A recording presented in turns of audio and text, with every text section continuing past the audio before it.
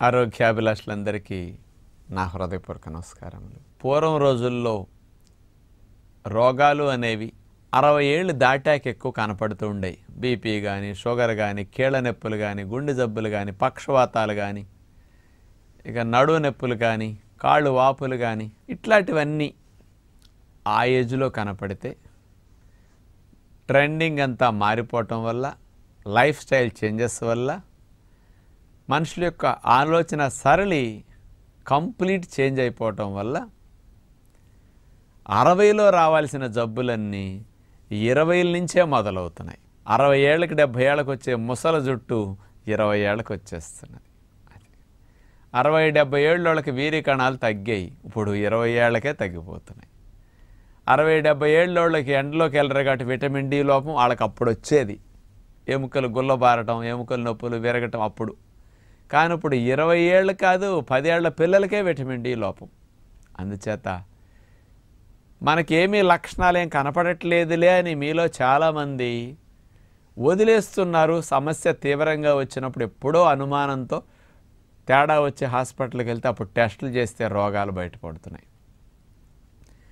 ప్రస్తుతం సమాజంలో ఉన్న వాటిని రోగాల యొక్క స్థితిని చూసి నాకేమనిపిస్తుందంటే ఇరవై ఏళ్ళు వచ్చిన దగ్గర నుంచి కాస్త ఒక్కసారి టెస్టులు చేయించుకోవడానికి ప్రయత్నం చేస్తే సంవత్సరానికి ఒకసారి రెండుసార్లు చాలా మంచిది అనిపిస్తున్నది.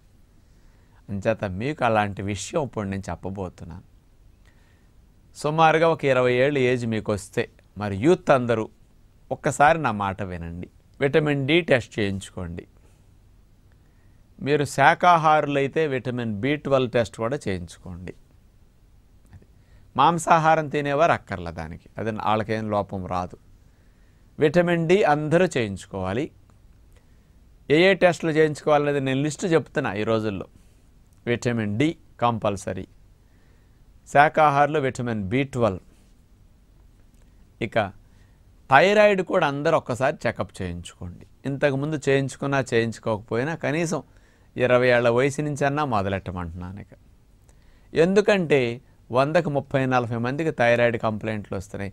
మరి మీకు నాలుగేళ్ళు మూడేళ్ళు థైరాయిడ్ ట్రబుల్ వచ్చినా మీకు లక్షణాలు కనపడక చాలామందికి అశ్రద్ధ జరుగుతుంటే ఇంకా లోపల అనేక మార్పులు వచ్చేస్తాయి. నష్టం జరగకుండా ఉండాలంటే కాస్త ప్రికాషనరీగా నాకు కరెక్ట్గా ఉందా లేదా థైరాయిడ్ గ్లాండ్ యొక్క hormones? T three T four TSH ఈ మూడు. ఇరవై ఏళ్ళు వచ్చినాయి అంటే కొంచెం మగవారైతే వీరి కణాలు చెకప్ చేయించుకోండి. ఒక్కసారి. అనుమానం లేకుండా. ఆడపిల్లలైతే ఓవరీస్ ఒక్కసారి చెకప్ చేయించుకోండి. ఎందుకంటే బుడగలు రావటం అక్కడ ఏదన్నా ఇంకొంచెం కొంతమందికి ఓవరీస్లో ఇంకా తేడాలు రావటం ఇవన్నీ ఎక్కువ ఉంటున్నాయి.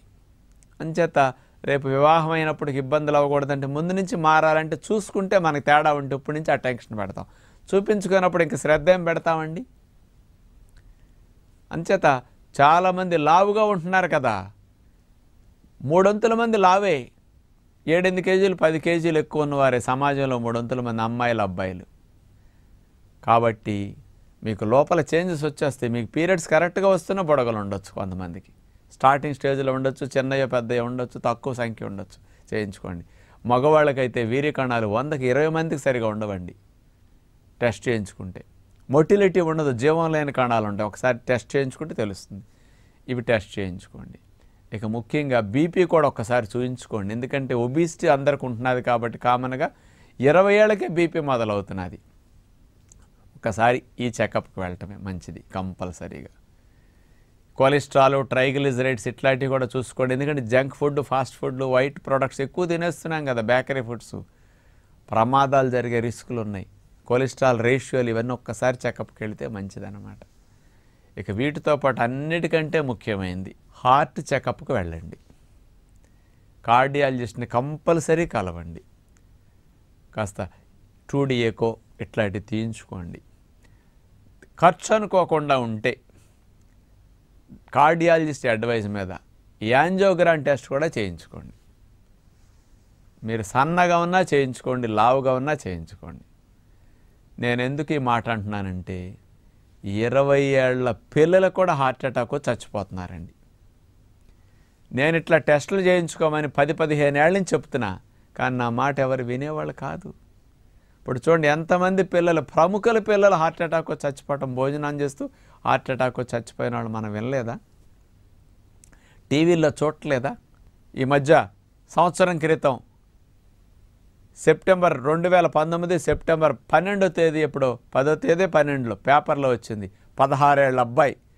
కుప్పం కాన్స్టిట్యున్సీలో. కూలి పని చేసుకునే వాళ్ళ పిల్లవాడు.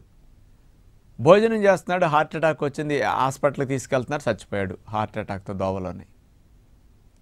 పేపర్లో నేను చూస్తే డేట్తో సహా చెప్తున్నాను నేను అప్పుడు దాన్ని.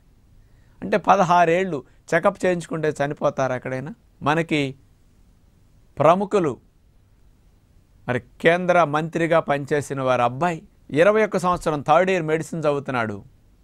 చూడండి హార్ట్ అటాక్తో భోజనం చేస్తూ హార్ట్ అటాక్ వచ్చింది. హాస్పిటల్కి వెళ్ళారు దగ్గరలోనే హైదరాబాద్లో ఉండి కానీ వెంటనే చనిపోయారు. కారణం? ఇరవై ఒక్కేళ్ళు బంజారా హిల్స్లో రెండు వేల పద్దెనిమిది జనవరి ఇరవై ఆరు రిపబ్లిక్ డే రోజున ఇరవై ఐదేళ్ళ కుర్రవాడు క్రికెట్ బాల్ ఇట బౌల్ ఇసిరి బౌల్ చేశాడు? బాల్ చేరలో వీటి కింద పడిపోయాడు హార్ట్ అటాక్తో. ఇవన్నీ పేపర్లో టీవీల్లో కనపడుతున్నాయి. అంటే వీళ్ళందరికీ యాంజోగ్రామ్ టెస్ట్ చేసుకుంటే హార్ట్ బ్లాక్లు ఉన్నాయా? పంపింగ్ ఎలా ఉంది? ఛాంబర్స్ ఎలా ఉన్నాయి? ఇవన్నీ చూసుకుంటే అసలు ప్రాణాలు పోతాయండి అట్లా ఎవరికైనా? కానీ చేయించుకోవట్లేదు. అరడజన మంది పిల్లలు పెళ్ళిపేటల మీద చచ్చిపోయినాయి. నాకు క్లిప్పింగ్స్ పంపితే నేను చూశాను వీడియోస్లో టీవీల ద్వారా వచ్చినాయి సూర్యాపేటలో ఒక అమ్మాయి పెళ్ళయింది ఊరేగింపులో అత్తగారింటికి వెళుతూ ఊరేగింపులో చచ్చిపోయింది పెళ్ళి కూతురు. నాగర్ కర్నూలు జిల్లా తెలంగాణ రాష్ట్రం. అరుంధతి నక్షత్రం చూస్తూ కొప్పుగోలిపోయింది అమ్మాయి. ఇరవై ఒక్కేళ్ళ అమ్మాయి పోలీస్ కానిస్టేబుల్ పరీక్షలకు ఫిట్నెస్ పరీక్షలు పరిగెడుతున్నది. హార్ట్ అటాక్ చచ్చిపోయిందండి ఇవన్నీ న్యూస్లో పేపర్స్లో వచ్చిన విషయాలు నేను చెప్తున్నాను ఇవన్నీ చూడండి ఇరవై ఐదు లోపే వీళ్ళందరూ టెస్ట్ చేయించుకుంటే యాంజియోగ్రామ్ టెస్ట్ కార్డియాలజిస్ట్ని కలిసి ఉంటే వీళ్ళు ఎవరైనా చనిపోతారండి అవసరమైతే స్టంట్ చేయించుకుంటారు అవసరమైతే బైపాస్ చేయించుకోవచ్చు. కానీ బ్రతకొచ్చే అసలు ఆలోచనే లేకుండా ఎంజాయ్ చేయటం ఎంజాయ్ చేయటమే. ఎంతసేపు తిందామని రంది తప్ప సమాజంలో ఏముందండి జనాల్లో ఇప్పుడు? తినాలి తాగాలి ఇంకోటి ఏదో చేసేసుకోవాలి. ఇవి తప్ప ఏమీ లేవు కదా ఈ మూడు. అంచేత వందేళ్ళ జీవితాన్ని ఇరవై పాతికేళ్ళకే నాశనం చేసేసుకుంటున్నారు కదా ఈ రోజుల్లో. అందుకని కనీసం బ్రతకాలి అని కోరుకుంటే ఇలాంటివి చూపించుకోండి. మనం చేసిన తప్పుడు పనులకి ఇరవై ఏళ్ళకి ఇట్లాంటివన్నీ వచ్చేసి ఉంటాయండి. చెకప్ చేయించుకుంటే కనీసం ఇక్కడి నుంచైనా మారచ్చు లైఫ్ పోకుండా జీవించవచ్చు కాస్త ఎక్కువ కాలం పాటు. పేరెంట్స్ కూడా ఆలోచించండి. పిల్లలకి చేయించారు అట్లాంటివన్నీ ప్రమాదాలు గురవుతారు. ఇంకో టెస్ట్ చెప్పలా? షుగర్ టెస్ట్ చేయించుకోండి హెచ్బిఏవన్సి ఇప్పుడు నేను చెప్పిన టెస్ట్లు ఒక్కసారి చూపించుకోవటం ఎవ్రీ ఇయర్ ఖర్చు అయినా సరే చేయించండి. ఇప్పుడు నేను చేయించుకోను ఎందుకంటే నేను చిన్నప్పుడు చెత్త తినలా. ముప్పై ఏళ్ళ నుంచి అస్సలు తింటలా. నేను అసలు ఏ రోజు ఏ క్షణం కూడా చెడగొట్టట్లా బాడీని ఇబ్బంది పెట్టట్లా. ఒక క్రమశిక్షణ కలిగిన జీవన విధానాన్ని మంచి ఆహారాన్ని అవలంబిస్తున్నా. ముప్పై ఏళ్ళ క్రితం నా బ్లడ్ టెస్ట్లు ఎట్లా ఉన్నాయో ముప్పై ఏళ్ళు గడిచిన అన్నీ నార్మల్గా ఉన్నాయి నాకు ఇప్పుడు. ఏ ఒక్కటి ఒక్క విటమిన్ డి లోపించింది. ఎండ తగలక షూటింగులకి స్టూడియోలోనే కూర్చుని చేయాలి ఎపిసోడ్లు. ఆరు బయట కూర్చుంటే ఎండకి గాలికి బయట శబ్దాలకి షూటింగులు కుదరవు. అందరూ కనపడుతుంటారు దృశ్యం కనపడుతుంటే మైండ్ మారుతుంటుంది. అటెన్షన్ పోతుంది నాకు అక్కడ అందుకని ఒక ఎప్ కూర్చున్నానంటే సిక్స్కి వచ్చి నైన్ వరకు పదిహేను ఎపిసోడ్స్ చెప్తా నేను. ఇప్పుడు మీకు చెప్పే ఎపిసోడ్స్ ఇప్పుడు చెప్పేది ఇప్పుడు ఆరింటికి వచ్చాను తొమ్మిదింటికి వెళ్తాను. రెండున్నర గంటల fifteen episodes ten minutes episodes fifteen చెప్తారు ఆయన ఎయిట్ మినిట్స్ టెన్ మినిట్స్ అంటే చూడండి అదే బయట చేయాలంటే ఫిఫ్టీన్ ఎపిసోడ్స్ ఇంకో నాలుగు మూడు గంటలు వేస్ట్ అయిపో షూటింగ్కి వస్తే అట్లా అయిపోతుంటాయి. నేను ఐదు రోజులు ఆరు రోజులు షూటింగ్ చేస్తే మీకు నెలంతా వస్తాయి యూట్యూబ్కి ముఖ్యంగా గుడ్ హెల్త్ హెల్త్ మంత్రా ఛానల్కి ఇచ్చే ఎపిసోడ్స్ అంతే.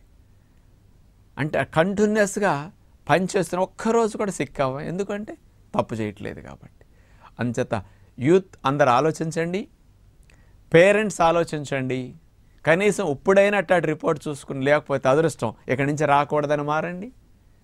వచ్చాయి. ధైర్యంగా మీరు మంచి అలవాట్లు మార్చుకోండి వెనక్కి వెళతాయి. మందులు లేకుండా తగ్గుతాయి చాలా వరకు. అందుకని మనం బ్రతకాలి అంటే కాస్త ఇట్లాంటి చెకప్ చేయించి చూసుకోవటం అలవాట్లు మార్చుకోవడం మంచిదని విజ్ఞప్తి చేస్తూ నమస్కారం.